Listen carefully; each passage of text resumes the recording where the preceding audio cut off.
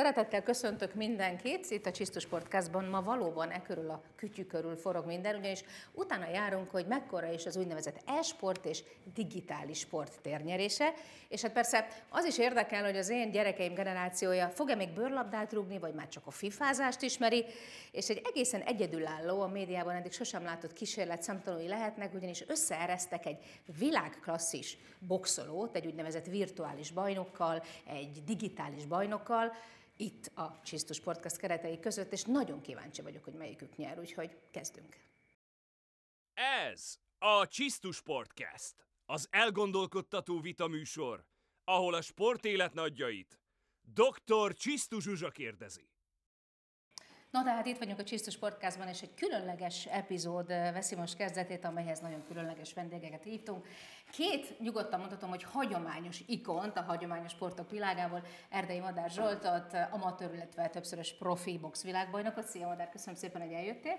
Köszönöm. Illetve Juhász Roland is vállalkozott arra, hogy beszélgető partnerem lesz ma 95-szörös válogatott, 2010-ben az évtized legjobb játékosának választottak téged. Köszönöm Roland, hogy itt vagy. Köszönöm. És mondhatnám azt, hogy a másik sorokban Itt van az e-sport, illetve a D-sport képviseletében két úriember, Bíró Balázs, a Magyar E-sport Szövetség, a HUNESZ elnöke, Szervusz Balázs. Köszönöm És Molnár Attila, a HUNESZ digitális sportszakágának, valamint a Legkap Egyesületnek az elnöke is. Köszönöm szépen, hogy itt Köszönöm szépen. No hát uraim, mielőtt belekezdenénk bármi nemű, mondjuk ilyen elvi vitába, hogy valódi sport kontra e vagy digitális sport, ígértem a nézőknek egy különleges, talán a médiában sosem látott kísérletet. És nagyon köszönöm, Madár, hogy remek formában vagy, hogy erre vállalkozol, mert hogy egy box mozgáskultúrát fogunk tulajdonképpen, hát nem is azt mondom, hogy szimulálni, mert nagyon valóságos is lesz, és lesz hozzá egy ellenfeled, de egy nagyon is valós úriember, nem egy virtuális. Ugyanis azt kell mondanom, hogy egy egészen klasszikus sportból érkező úriember, Medvig Krisztián, aki a Shaolin Kung Fu Európa bajnoka amúgy egyébként, viszont a digitális sportban roppant járatos. Ő lesz az, akivel egy, egy egymenetes összecsapást kellene végigcsinálni. Mehetünk? Hát megnézzük, hogy mekkora a fájdalomtűrése Krisztiánnak.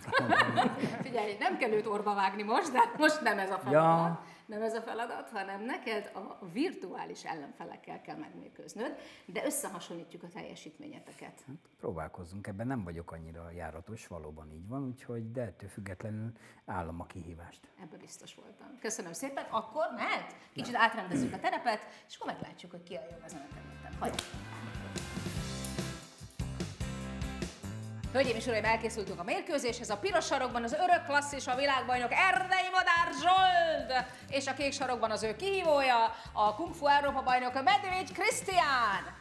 Fair mérkőzést kérek szépen. Egy menet, három perc kezdődik, tehát szorítóból az első és egyetlen menet. Let's get ready to rumble!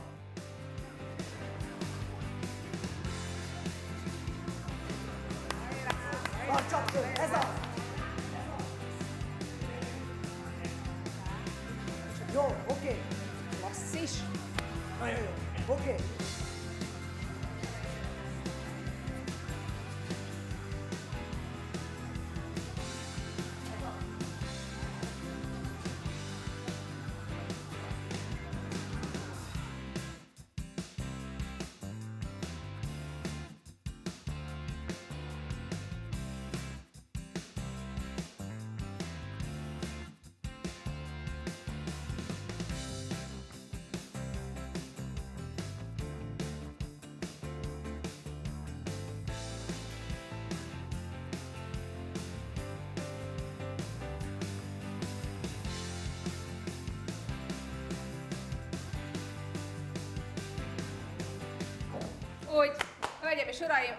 Mérkőzés tehát eldöntetlen.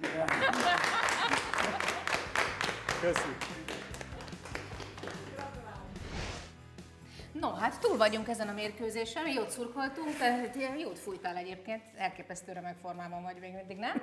Ugye? Abszolút. Azt kell mondanom, hogy majd meglátjuk a szakértő eredmény alapján, hogy tényleg mennyire sikerült levernie az eszközt madárnak. És hát eldöntetlen lett a mérkőzés, mint ez látható volt, de most elsőképpen arra lennék kíváncsi, hogy mesélnek-e valamit az élményről? Mit tapasztaltál ott a virtuális szemüveggel? Igazából az eldöntetlen az kecsegtető számomra, azt gondolom. azért kezdtem belejönni a végére, éreztem a tempót, a ritmust, a, a zene is jött a fülembe. Remekül szórakoztam, azt kell, hogy mondjam. Nem, nem mondom, hogy ez nyilvánvalóan nem válthatja ki egy sportmozgást, nem válthat ki.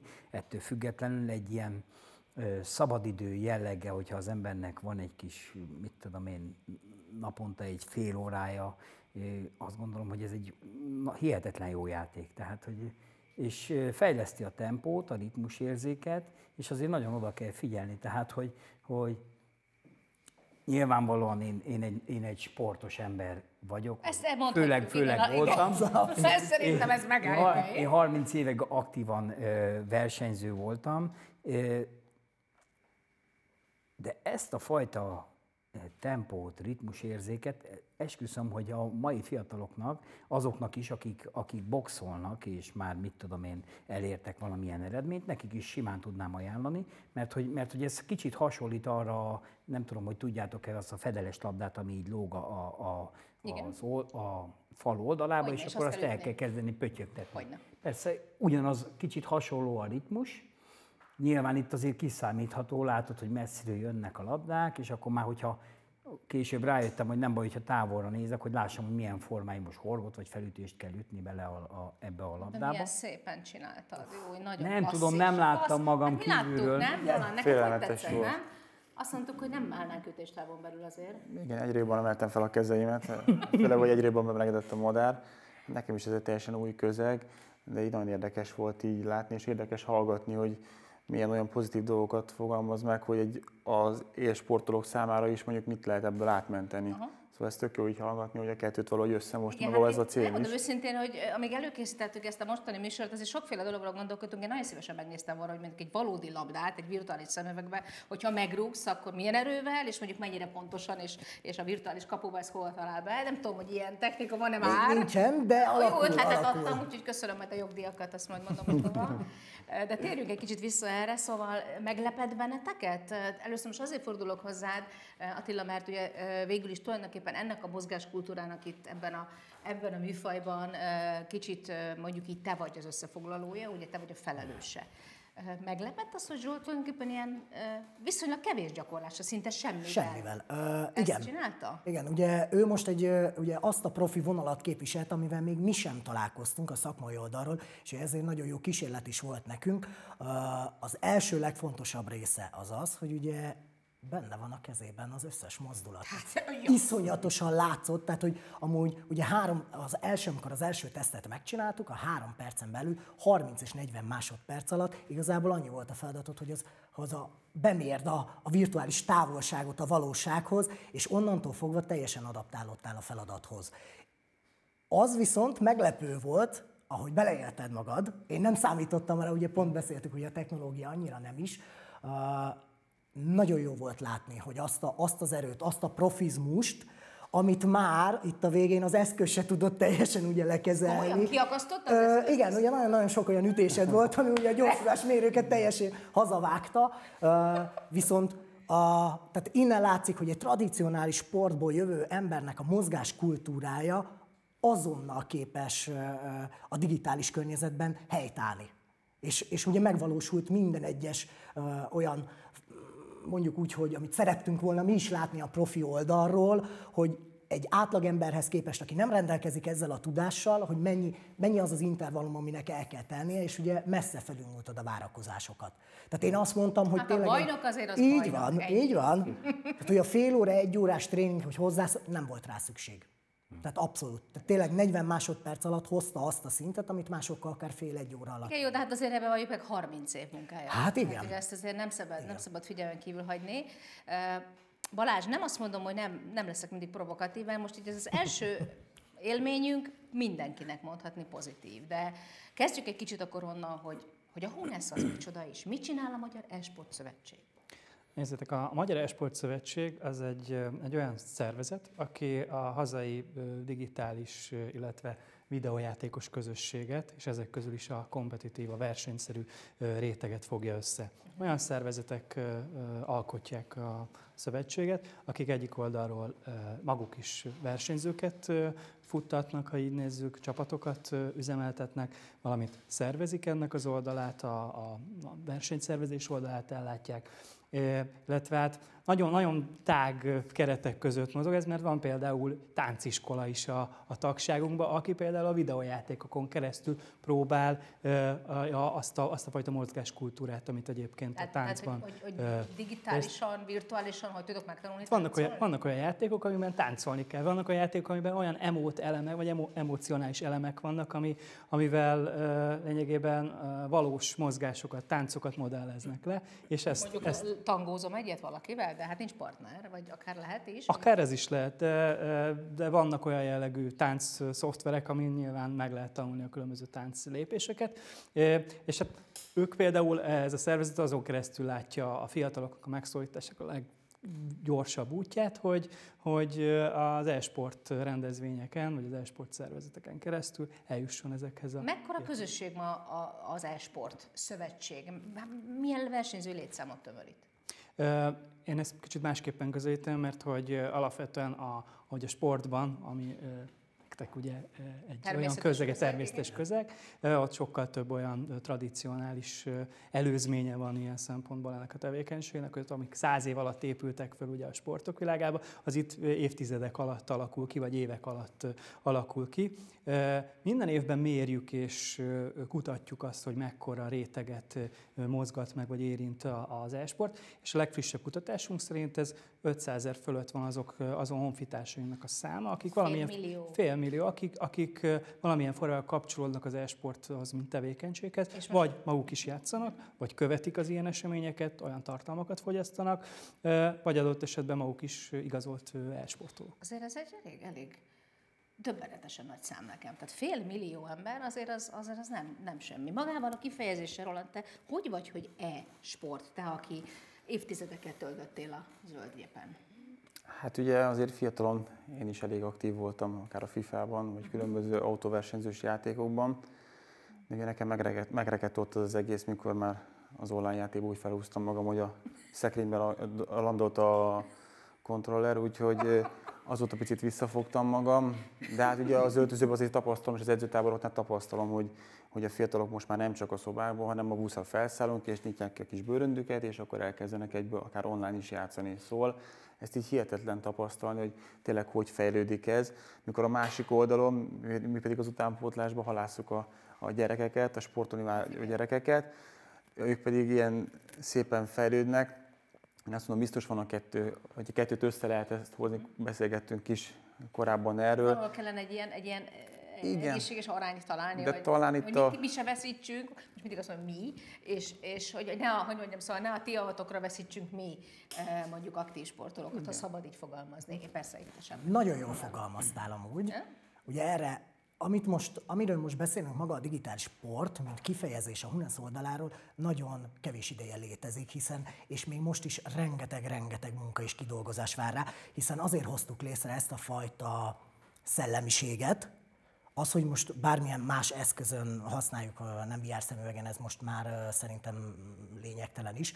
Azért, mert eljött szerintem az az idő, hogy ezt a szakadékot, amit most te is pont, amiről beszélünk, hogy, hogy, hogy akár az e-sport vagy tradicionális sport, kezdjük összemosni és, és barátkozni egymással.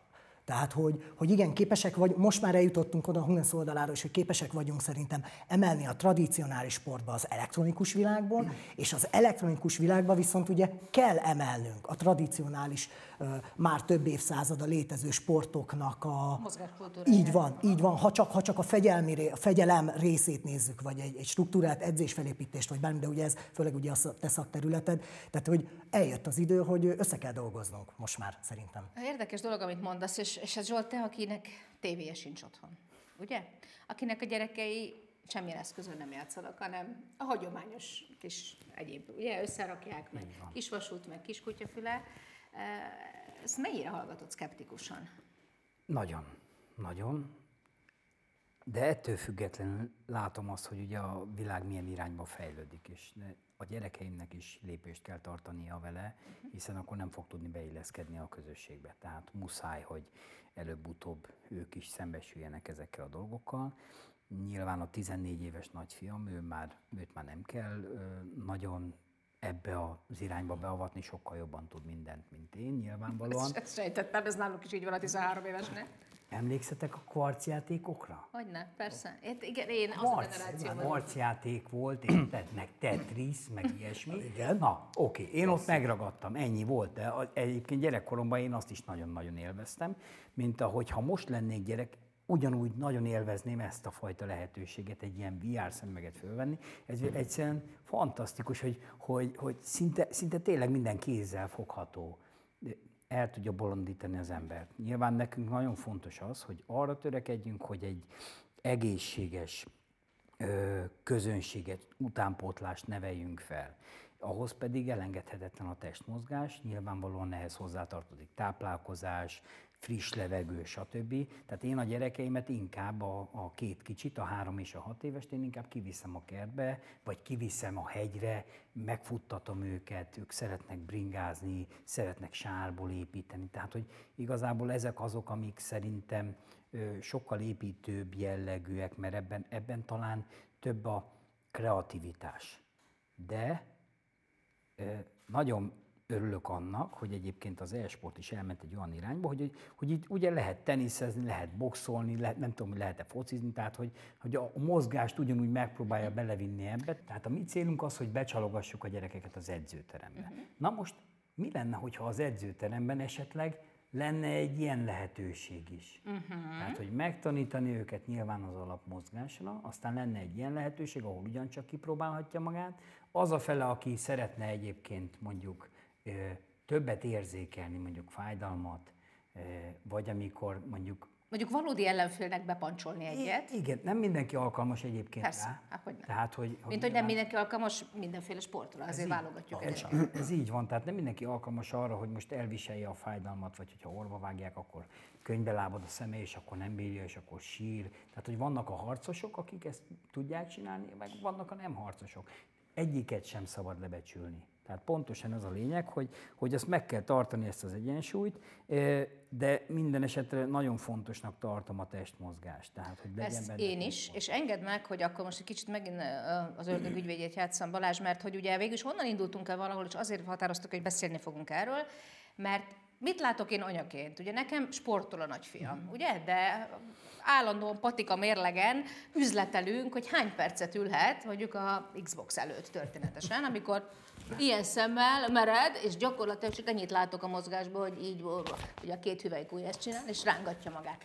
És nyilvánvalóan az embernek alapvetően az a félelme, ugye, hogy mikor hallja ezeket a egészen, egészen elrugaszkodott, de valós sztorikat, hogy ül a japán kisgyerek otthon a nyolcadik órája étlen szomjan, és egyszer csak lefordul a székről, mert hogy annyira belekerült ebbe a, ebbe a világába, amiből nem nagyon jön ki. Észre sem veszi, hogy mi történik vele, Hát ott mozgásról egyáltalán nem beszélhetünk, ott kifejezetten arról beszélünk, hogy egy, egy, egy, egy nagyon komoly idegrendszeri terhelés van. Ezzel most mi a helyzet? Ha az előbb sokkoltalak az 500 ezer fővel, akkor most még egy sokkoló számot mondok. 3,8 millió magyar honfitársunk játszik valamilyen videójátékot szabad idejében, vagy annyira profi jelleggel, mint mondjuk egy esportó, vagy pedig nagyon-nagyon közösségi vagy olyan jellegű szabadidős tevékenységként, ami, ami egyébként számára egy kikapcsolódás, egy szórakozás. Nagyon fontos szerintem, hogy elkülönítsük a videójátékos közeget az elektronikus sport ö, közegtől, és itt egy kicsit azért még külön még kitérnék majd a, a digitális sportvonalra is, mert hogy annak még egy szűkebb szelete ez. Tehát vannak a videójátékosok, akik egyébként szórakozásból, szabadidő eltöltésből játszanak. Ők egyébként azok ezek, akiből, hogyha ez komolyan veszi és, és mélységében megismerkedik egy-egy játékkal, akkor e-sportolóvá válhat. És az a szűkebb réteg, aki mondjuk e-sportol, azok egy keretek közé tudatos játékos tevékenységként kezelik ezt. Tehát hasonlóan, mint a sportban, edzenek, gyakorolnak. Az nem is keveset, ha Igen, nem, nem is keveset, és nyilván ez, ez ennek része, és a magasabb és profi szinten nagyon is része egyébként a testmozgás, az egészséges táplálkozás, a testi-lelki egészség az egy nagyon fontos eleme tud lenni Tehát egy akkor, verseny. akkor nyugtass meg, hogy, hogy akkor gyakorlatilag egy, egy ilyen jellegű sportoló, aki ezt mondjuk versenyszerűen, nem csak hogy versenyszerűen, akár profiként csinálja, vagy mindjárt kitérünk egy fiatalemberre, akiről szeretném, ha beszélnék, ő ugyanolyan edzés felkészüléssel, ugyanolyan előkészítéssel, tehát fut, erőléti edzést végez, figyel a táplálkozására, és a többi, és a többi, mint, mint egy hagyományos sportot űző. Hát nem feltétlenül olyan mélységében, meg olyan szintű Nyilván. összetettségében, mint egyébként egy ilyen sportoló, de hogy része az edzés tevékenység, tehát amellett, hogy ő az adott időszakban gyakorolja a játékmechanikát, azokat a mozgásokat, és itt egyébként a, kiemelném a szemkész koordináció, és hogyha már sportokkal kell összehasonlítanom, akkor az íjászat, lövészet, biliárd, darts, ezek rokon területek, ha így nézzük, ott is azért a szemkész koordináció, a koncentráció, a figyelem az egy fontos szerepet tölt be, tehát megjelenik az ilyen jellegű mozgásos tevékenység, de emellett nyilván azok a fajta ö, tevékenységek, amik mondjuk a sportban, hogy kielemezzük az ellenfelet, hogy kielemezzük a mozgásunkat, a stratégiánkat, hogyan építsük fel, ez is része, van egy ilyen jellegű szellemi tevékenység része. Itt meg, hogyha még egy sportpárhuzamot szeretnék vonni, akkor a sakk, a gó, azok a, a, szellemi sportok, ahol elsősorban a logikus gondolkodás, a probléma megoldó készség fontos, azok kerülnek elő, előtérbe. És akkor, hogy még egy sportterületet hozzá társítsak, a technikai sportok, ahol az ember-gép kapcsolat, annak a nem mondjuk működtetése. Norbi, ugye, aki úgy ült át, és úgy lett világklasszis gyakorlatilag, hogy 21 éves koráig csak szimulátoron játszott. 21 éves koráig, aztán egyszer csak életében először átült a Hungaroringen egy autóba, és a harmadik legjobb időt hozta le azon a futamon. Életében először. Kiváló példa erre. Tehát, hogy, hogy azért van ilyen, ilyen szinten rokonság vagy párhuzam a sportokkal. Nyilván itt a, az, ami a legfőbb kritika, vagy legfőbb olyan jellegű negatív, és azt mondom, hogy ez már sztereotípia olyan szempontból, hogy a videójátékos közösségtől elvonatkoztatva jön, és ilyen szempontból rárakódik az e-sportolókra is, az az, hogy ugye a kevés, kevés mozgás szokott előjönni, hogy akkor az összes ilyet kilőjem gyorsan. A, Na mondjuk akkor ezeket el. Mondjuk el, jó. A, a szociális leépülés, hogy nincsen, nincsenek, nincsen közössége, csak a gép. Nincs söt- benne igazság? Sötét, sötét szobába ül és játszik. Nyilván a gyakorlási tevékenység az egyfajta koncentrációt igényel, lehet ilyen eleme, amikor egyedül készül úgymond a játékos, de a, a csapatsportoknál, vagy a csapatásportoknál azért nagyon fontos a közösségképzés és a közösség, és egyébként maga a, a szurkolói kultúra, ami egyébként jelen van mondjuk a sportban, az itt is kezd megjelenni, tehát közösségek épülnek a csapatok. Igen, de azért azt, azt, azt ismer, de hogyha mondjuk ez, ez játékszinten megy, amikor, amikor Finneki fölnyitja a buszba a kis eszközét, a kis táskáját, akkor azért, akkor azért nem egymással játszanak át. Dehogy nem. Becsatlakozik az interneten, hangkommunikációs Ja, úgy szószerrel persze. Igen, beszélnek, és az a Jó. Ez az én fiam is mondjuk, a, vagy a fiam is a osztálytársaival játszik, az igaz, online. Ezt a sztereotípiát le is tudtuk rombolni. Jó, akkor egy pipa, oké. Okay. Aztán? Jó, ha így nézzük, van, vannak olyan elemek, akik azt- mondják, hogy a videójátékok erőszakossá tesznek. Hát Erőszakossá ezt meg tudom erősíteni. Tehát miután a fiaim most nem mondom ki, melyik játékból felállnak, mondjuk például, de a hátizsákból elő kell venni. Egy ilyen fejsze, egy balta, egy gépfegyver, egy kutyafül, és az a lényeg, hogy minél több ellenfelet tulajdonképpen likvidálni tudjál, és bejuss az épületbe, stb.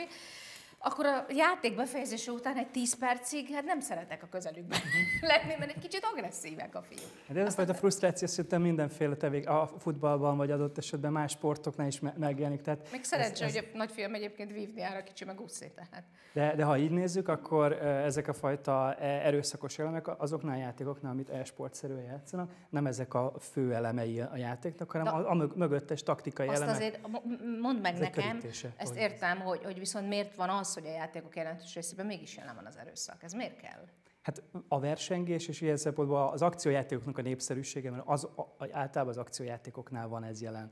Ö, Mert hogy a sportjátékoknál nyilván nincsen ilyen, hogy, Persze. hogy ott is lehet szabálytalankodni egyébként, van olyan a játék, ami megengedi szabálytalankodjon a játékos, ugyanúgy retorzió éri a játékba, de általában az akciójátékoknál jön ez föl kritikaként, ahol nyilván ez egy olyan elem, tartalmi elem, ami mentén ha ránézel a játékra, akkor azt tudod mondani, hogy tényleg ez egy erőszakos dolog. Igen. Viszont, hogyha a mélységébe vizsgálod, és mondjuk egy Counter-Strike mérkőzésről beszélünk, ahol, ahol a terrorelhárítók a terroristák ellen játszanak, és meg kell akadályozni. Már ez a tematika is zavar engem, ne arra Na, ezek, ezek a dolgok egyébként szerintem, amik, amik ilyen zsigari, zsigari hát gyűlöletet, vagy nem tudom, ilyen jellegű reakciókat váltanak ki az emberből, de hogy igazából a játék mögöttes síkja, az, az egy taktikai elem, hogy, vagy taktikai rész, hogy, hogy hogyan, milyen formában hát, foglalják kár, el az adott Sok területet. esetben kár, hogy így öltöztetik fel, tehát hogy ebből egyébként mondjuk így a, a csomagolás az mégis valamilyen brutális környezet. Igen, de ugye közben most akkor belepillantottunk a fogyasztói társadalomba egy pillanatra, mert ugye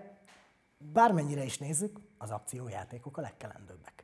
Tehát titkon, valamilyen módon Mégiscsak erre vágyunk. Igen, de azért itt most nem akarlak olyateket hosszasan statisztikákkal zaklatni, mert valószínűleg ti is olvastátok mm. ezeket, hogy azért a világban Igen. mégiscsak azt mondják, hogy azért a fiatalkorúak közötti, hogy mondjam, agresszivitás, erőszakosság egyes pszichológusok véleménye szerint visszavezethető ezeknek a játékoknak a térnyerésére. Ah. Sok meg pont mást mondanak, Igen? tehát ebben eléggé megosztanak a vélemények. Viszont én inkább egy másik irányba terelném ezt a gondolatot, ugyanis ha az erőszakossági faktort, vagy ezt a tartalmat nézzük a játéknak, nagyon fontos azt tudni, hogy milyen korosztály számára és kiknek ajánlott a játék. Az a, a fajta rendszer, ami egyébként a, a, a filmeknél, vagy a, a, nem tudom, a zenéknél is előjön, hogy szókimondó szöveg, vagy agresszív tartalmak megjelennek, az, az olyan fajta önszabályozó rendszer egyébként a videójátékos amit, világra is. Amit mondjuk úgy vagy betartanak a szülők, és tényleg odaengedik a gyerekeket, vagy nem. Nagyon fontos dolgot fogunk majd ide folytatni, csak szeretném Rolandot megszólítani azzal a kérdéssel, hogy akkor ugye te is azt mondtad, hogy már túl vagy már túl vagy ezen, mert egy párszor ugye landolt a szekrényben a kontroller, viszont, viszont egy kicsit segíts nekem azt megérteni, hogy azért a, a fifázás, ha ezt most így kvázi mint egy ilyen nagy csomagot vesszük, ez tényleg őrült nagy ö, siker, és, és nagyon érdekelne, hogy, hogy amit te ott érzékeltél, annak mennyi köze van a valós focihoz? Hát ezek a játékok, játékok is azért elég komoly fejlődésen mentek keresztül az elmúlt években, és azt mondom, hogy egyre életűbbek a mozgások. Most én is azért 20 éve ismerem, talán még messzebbről a FIFA-t, és néha visszanézve azokat a képeket, hogy milyen grafika volt, milyen jelenetek egy mérkőzés, és megnézni a mostanit, hát elképesztő egyébként, hogy, hogy tényleg mennyire valós. És a valahol... karaktereknek a mozgását is le tudják igen. már venni, igen. tehát ahogy Messi vagy Ronaldo mozog, vagy ilyesmi. Az... Azért az öltözőben ez téma is, ugye egy új játék, hogy mennyire élethű, mondjuk mennyire csúsznak be olyan hibák akár a programba, ami mondjuk picit negatív irányba vinni el, de, de tényleg azt tapasztalni, és csak ott a fiataloktól is hallottam az elmúlt évben, hogy ezek tényleg egyre-egyre életűbbek, és egyre inkább azt kapják vissza, mint mondjuk, ha egy élő közvetítést néznének a, a játékosok.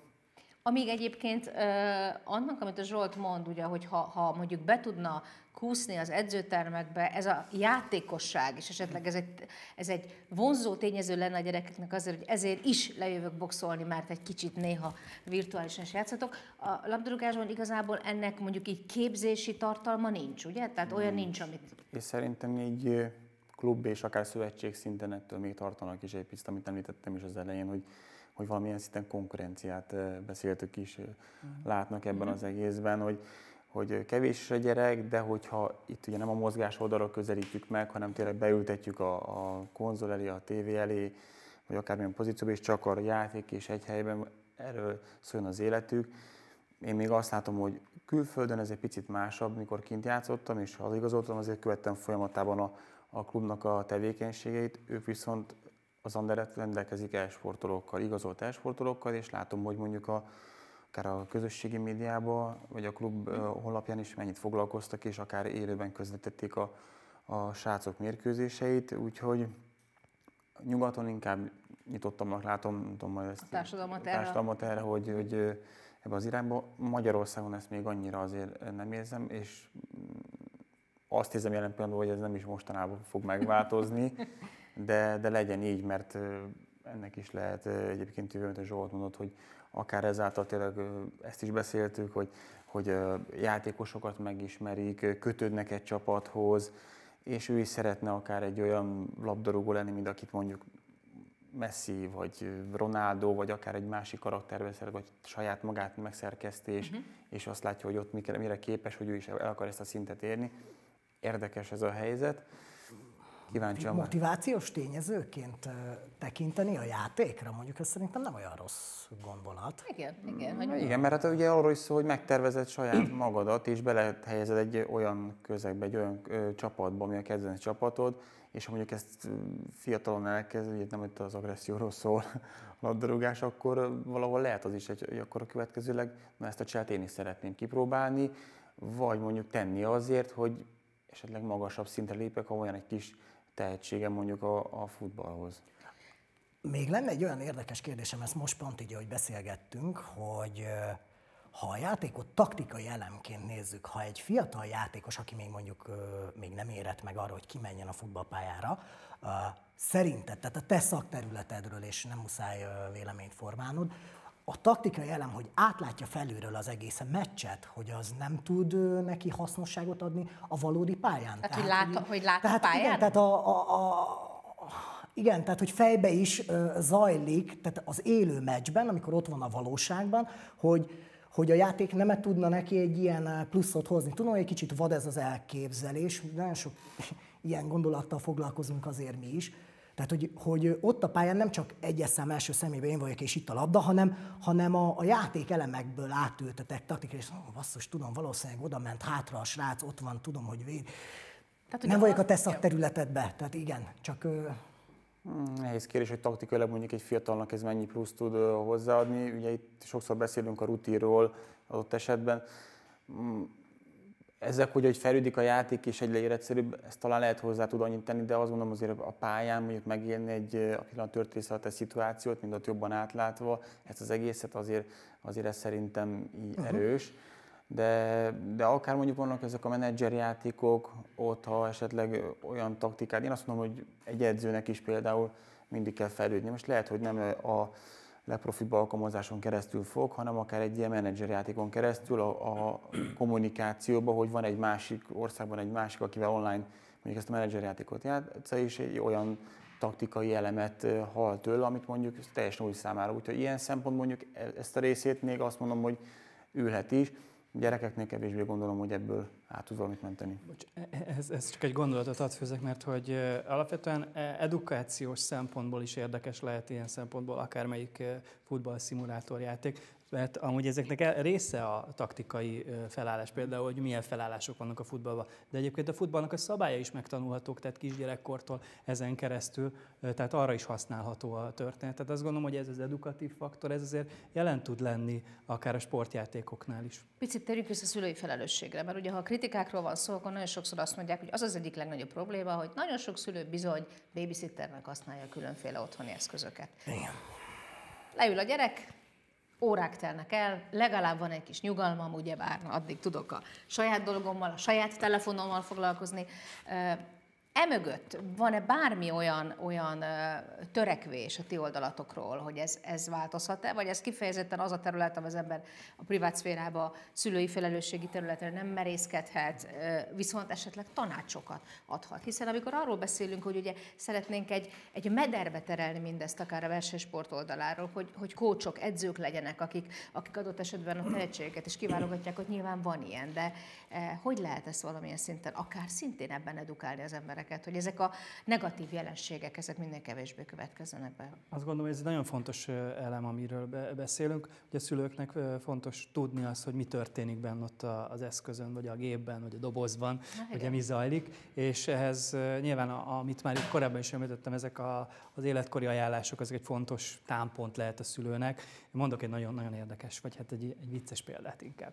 Amikor a gyerek rágja az anyuka meg az apukának a fülét, hogy akkor most szeretne egy autós játékot karácsonyra, és elküldi a címet, hogy ezt, ezt, ezt szeretné, ami egyébként ránézésre egy autós játék, ez a, Grand, a GTA nevezetű játék, aminek uh. egyébként egy, nem, nem az autózás csak a fő eleme, hát, de hogy ha tartalmi elemként ránéz valaki, és az autó tényleg egy autós játéknak is be, beillik. Na, már most itt, hogyha a szülő legalább annyira veszi a fáradtságot. Hogy Én olyan sztorikat hallottam a fiamtól, hogy a GTA-ban milyen feladatokat kell teljesíteni, hogy lefordultam a székről, és mondtam, hogy ezzel biztos nem fogsz játszani, ilyet nem kapsz. De igen, tehát erre, erre hívnám fel a figyelmet leginkább, és egyébként ilyen jellegű edukációs előadásokat, programokat egyébként mi ilyeneken dolgozunk. Ami arról szól, hogy a szülőket hát képzi arra, hogy egyébként ezeket az eszközöket, ezeken az eszközökön mi zajlik, illetve ezek a tartalmi elemek hogyan tudja azonosítani. Nagyon egyszerű egyébként, és el, egy tippet hadd mondjak no. el, hogyha már Hát, hogyha már itt vagyunk, akkor igen. Igen.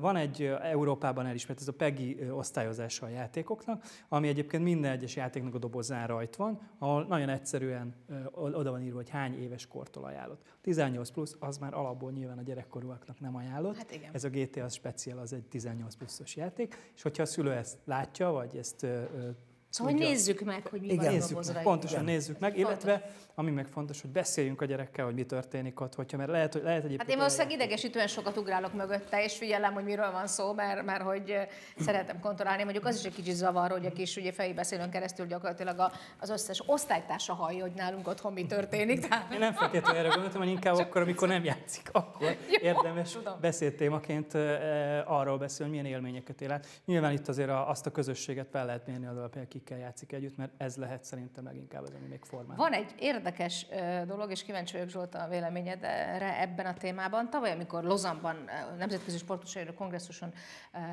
Thomas Bach, a Nemzetközi Olimpiai Bizottság elnöke volt a vendég, és újságírók elkezdték őt faggatni arra, hogy mi a vélemény az e-sportról. Következőt mondta a fülem hallatára. Amíg a Citius, Altius, Forcius, tehát a magasabbban, messzebbre, erősebben nem valósul meg az e-sport környezetében addig nincs miről beszélni az olimpiai mozgalom és az e-sport házasságában.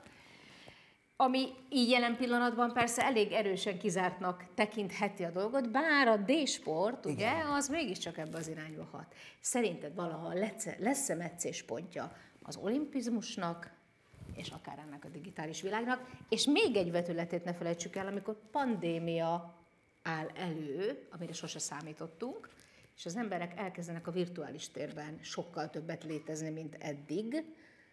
Lesz-e, látsz-e olyan eseményt, amikor egyszer majd, nem tudom, a profi nehéz súlyú boxvilágbajnoki döntőt valaki az egyik Las Vegasban vívja, egy virtuális mérkőzésen, a másik pedig, mit tudom én, Miami-ban. Nem, nem, nem haragszatok, hogyha én ezt nem tudom elképzelni. Oké, okay, ezért kérdezlek. Hát, hogy én ezt nem tudom elképzelni. Igazából mm, az emberiség halad a végzete felé. Ezt, ezt ki kell jelentsük, tehát, hogy így is, úgy is.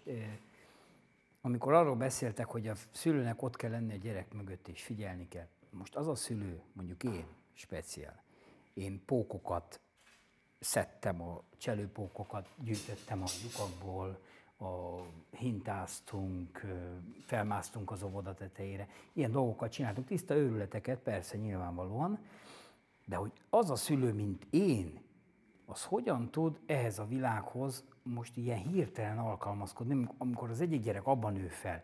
Most gondold el mondjuk, ha nyelvtanulásról van szó. Én kikerültem Németországba mondjuk 26 évesen, kiinkes elvesen, de megtanultam a német nyelvet. A gyerekem abban nőtt fel. Anyanyelvi szinten beszél mondjuk németül. Én azért megtanultam, mert marhára oda tettem magam, de a gyerekem az abban nőtt föl.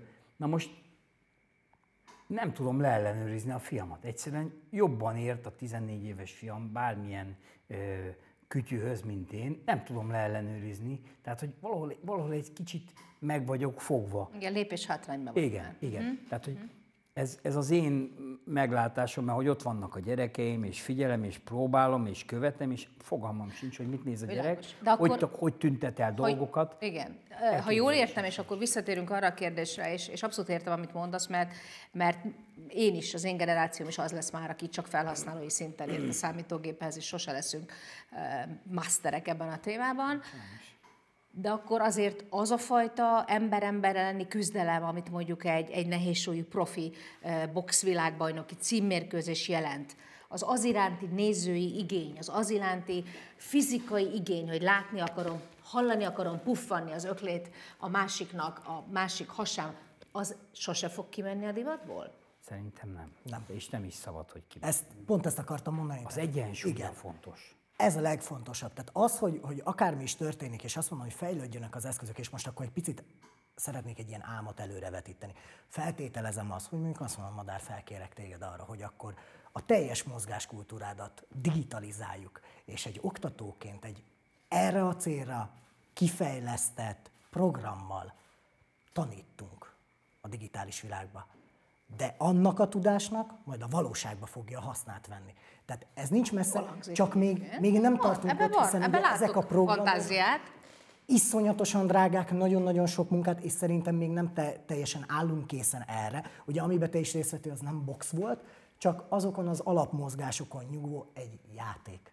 Inkább egy fitness program. Igen, igen, de ugye, de ugye képesek vagyunk, tehát Hunes oldalról is azt mondom, hogy vizionálunk, és itt, itt nagyon sok, tehát edukációról beszélünk, uh-huh. Ami, ami nagyon fontos. És mondjuk mondom én most, ugye én ülök itt köztetek úgymond a legfiatalabb módon, már én sem tudom felvenni az ifjakkal a ritmust. És nagyon-nagyon furcsa, tehát a hadseregből rengeteg elemet emeltem át az Egyesületnek a, a működési alapjába. Az első például, vagy a sportokból, szigor, tehát káromkodás, a mez nálunk, ez nagyon, én erre nagyon ki vagyok hajazva, kötelező, mert tud, hogy hova tartozol, illetve ugye ha repül a kontroller, volt Már hogy, már hogy a káromkodás nem kötelező. tehát nem, az bizony. nem. Tehát, hogy Oké. a MESZ kötelező, igen.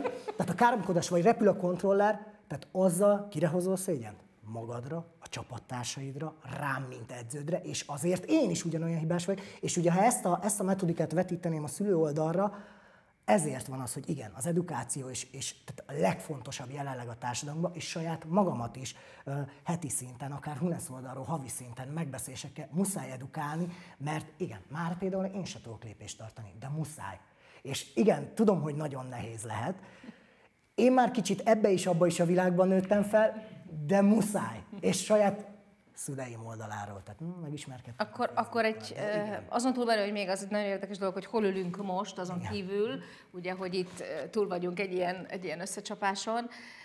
Van ilyen iskola, ugye? Most ez részben egy iskolai, Igen, ez iskolai ö, tanteremben is ülünk, mondhatnám azt is, mert hogy? Igen, ugye maga a Sas Budapest, a Besényi György Gimnázium, ez most a Hunesznek uh, együttműködéssel, a Linkáppal, ez egy partneriskola, uh, pilot iskola, bocsánat, Pilot pilot, egy pilot iskola. Uh, itt valósul meg az, hogy amúgy sportolóknak alternatív oktatása van, ami ugye igazodik az ő edzéseikhez, hogy tudjanak sportolni, viszont ugye itt már nagyon erősen jelen van az e-sport is, illetve most már a digitális sport is egy, egy éve, ami, ami én azt látom, hogy úgy osztik meg a srácok között, hogy van egy sportoló, aki azt mondja, hogy ő, ő szereti ezt a világot, ugye, mert ő már ebben nőtt fel, leülök a gép. Tehát sportol, tanul, és leülnek, és ugye a Hunesz oldalról, az oktatási oldalról hozott uh, metodikák alapján próbálják a, a profi vagy a profit megközelítő, összeszedett módon ugye dolgozni. Tehát igen, végül is munkának is tekinthető. És bocsánat, és akkor egy pillanatra ugye a digitális sportra kanyarok, én láttam pont azokat a srácokat is, akiket zavar az, hogy túl sokat ülnek a gép előtt. Tehát, tehát mindig vannak, megvannak a határok, tehát hogy ki hova fog elhelyezkedni, hova pozíciójálna magát. Még egy kérdés, egy kicsit a jövőről. Hány év? 30 a ringben? Hány év a pályán? Közel 30. közel 30. Tavaly először a Magyar Sportúságíró Szövetség történetében kiosztottuk 62 év után az év E sportolója díjat, mert úgy éreztük mi sportúságírók, hogy lépést kell tartanunk a világ változásával. Vizi Csacsi átvette tőlünk, ugye ezen a néven fut a fiatalember. Kérdeztem tőletek, hogy mi van Vizi Csacsival, és nagyon meglepő választ kaptam. Visszavonult. Visszavonult Vizi Csacsi. Hány év után? Hát ö, olyan négy-öt év ö, olyan profi karrier után vonult vissza, ami egyébként a legmagasabb szintű európai ligában szerepeltő League of Legends játékban. Ez, egy, ez egy taktikai ö, csapatjáték, lényegében fantázia világban játszódik. Ez azt is jelenti egyébként, hogy azért ebben a műfajban a, a, a, a nagy karrier az körülbelül ennyi, tehát nem fogunk évtizedekig látni eh, Hát vannak olyan, mondjuk vannak ilyen, olyan ilyen műfajban kitűnő e-sportolókat? Vannak olyan játékosok, akik egyébként hosszabb időtartamban is ott tudnak ragadni a, az elitben, de ez a 4-5 év az, az jellemző, és ez, hogy úgy életkorhoz is kössem, tehát 18 és 25 év között. És utána kiégés van, vagy mi? Nem feltétlenül kiégés, hanem olyan egzisztenciális változások az életben, ami mondjuk befejezi az egyetemet, vagy alapvető, hogyha profi karriert indít, akkor a csapatával elér egy olyan szintet, ami után ő tovább lép, és azt mondja, hogy ő lesz az edző, ő lesz, ahogy egyébként a sportban ez előfordul, szakkommentátor lesz, olyan jellegű online influencer lesz, véleményezér, aki, aki ezt tovább interpretálja a nagy közönség felé, és viszi a hírét. Ami ez fontos látni, hogy maga az esport mögött egy iszonyatosan összetett szakmai oldalak vannak, és tényleg akkor most nagyon sokat esporoltál. Illetve, hogy ami egy nagyon fontos momentum, amit akár te is mondhatnál, hogy hát igen, hogy ha bejön a család, tehát más dolgok lesznek prioritásban. Uh-huh. Igen. Jó, hát én abban bízom, hogy azért független attól, hogy ezek a fiatal emberek nyilván nagyon fókuszáltak, és egy időben nagyon sok olyan dologra, ami, ami nekünk kívülállóknak szinte úgy tűnik, hogy egy, egy pici csőlátást is jelent, azért utána ugyanúgy kitágul nekik a világ, és azok a hagyományos értékek szintén bejönnek, és, és fontosak lesznek vagy talán fontosak is maradnak útközben. De ebben, ha jól látom, azért ebben nektek nagyon fontos munkátok van, és nélkülözhetetlen szerepetek van abban, hogy a, ahogy elhangzott, ez a balansz igen. Ez megmaradjon. Igen. Ez egy fontos társadalmi felelősségvállás igazából a szövetség részéről is, mert látjuk mi is azokat a negatív, hát hátrányos részeket a, mondjuk a videójáték kultúra mentén, ami nyilván a kevés, kevés mozgás, az, hogy elhanyagolja az étkezését. És ezek, ezek a dolgok, amik egyébként pontosan ezeket a negatív sztereotípiákat is erősítik, hogy ezeken változtassuk. És akkor, ha egy össze tudnánk foglalni, akkor itt van egy pozitív mai élmény, itt van egy, egy azt kell mondanom, hogy egy, egy nyitottság sok mindenre, ami esetleg izgalmas lehet. E, és tulajdonképpen, ha egy bő mondatban összefoglalnánk ennek a mai beszélgetésnek a tanulságait, elsősorban talán a szülők számára, akkor ezt hogy tennétek meg? Én azt gondolom, hogy amit többször is elmondtam, nagyon fontos, hogy tisztában legyen, hogy mi az a játék, vagy mi az a tevékenység, amit a, a, a gyerek végez ugye az eszközön keresztül, illetve az, hogy ne féljünk attól, hogy olyan dologgal foglalkozik, amit mi nem ismerünk, hanem inkább nyitottság, én így fogalmaznám meg. Hogy Fizikalitás? Van helye? Kötelező. Nem, nem helye van, kötelező. És pont akár a stresszlevezetésről nézzük, bármelyik. Tehát az, hogy most tradicionális sportba, digitális sportba kimegy futni, kimegy játszani, kötelező. Én abszolút, tehát szerves részét kell, hogy képezze az életüknek, és ahogy akar a profi sportolóknak is képezi is. Hát én azt gondolom, hogy fontos dolgokat mondtunk el, egészen biztos vagyok benne, hogy nem utoljára beszéltünk erről a témára. Amilyen rapid tempóban fejlődik ez a világ, és hogy amennyire vigyázni kell arra, ugye, hogy, hogy a térnyerése esetleg ne a hagyományos műfajok kárára történjen, egészen biztos, hogy még beszélni fogunk arról, hogy mi, milyen állapotban van akár a magyar, akár a nemzetközi E, illetve D-sport, és hova tart ez a fejlődés. Uraim, nagyon szépen köszönöm, még egyszer gratulálok, pazar volt, nagyon, nagyon jó volt látni, és nagyon szépen köszönöm, hogy itt voltatok. A nézőknek is ez volt a Csisztus Podcast egy különleges epizódja, remélem, hogy tetszett, és nagyon bízom benne, hogy ennek a beszélgetésnek a hosszú verzióját is nyomon követi velünk mindenki, akár a YouTube csatornámon, a Csisztus channel illetve a beszélgetés hanganyagát megnézi a különféle elérhető podcast felületeken. Találkozunk legközelebb is. Sziasztok, viszontlátásra! A Csisztus Podcast producere és műsorvezetője Csisztus Zsuzsa, szerkesztője Kovács Orsolya, stábigazgató Molnár Géza. Köszönjük a stylingot Mihai Parisnak, a sminket Horváth Andrának, a frizurákat Szekeres Krisztának. A műsor partnerei a Seriti, a Magyar Esport Szövetség. Szeretjük a magyar divattervezők munkáit megmutatni, ezúttal köszönet a ruhákért a Viktória Vargának, az ékszerekért pedig a Zema Porcelán ékszerháznak. A helyszínt és a VR élményt a LinkUp VR e-sport egyesület biztosította, ahol sok szeretettel várják a technológia és a mozgás kedvelőit, valamint mindazokat, akik úgy hiszik, a világ több is lehet, mint amit látunk.